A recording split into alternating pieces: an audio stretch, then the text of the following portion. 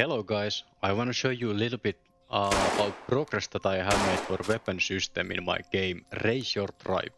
I want to be very transparent for development and if you can, you if you can, if you want you can join Discord and wishlist on Steam, link in description.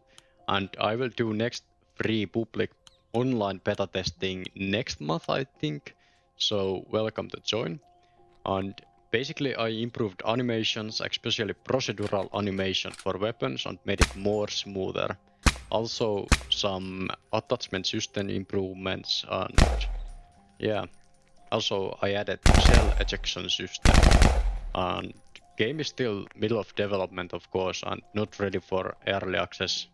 I think I'm going to publish this game next summer, but I'm not yet sure.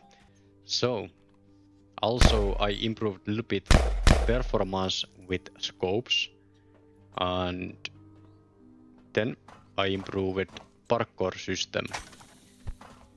But yeah, if you don't know about this game, this is basically combination of Rust, Generation Zero and maybe Escape from Tarkov and because I want to include Cyberpunk in this game, so maybe Cyberpunk 2077 maybe.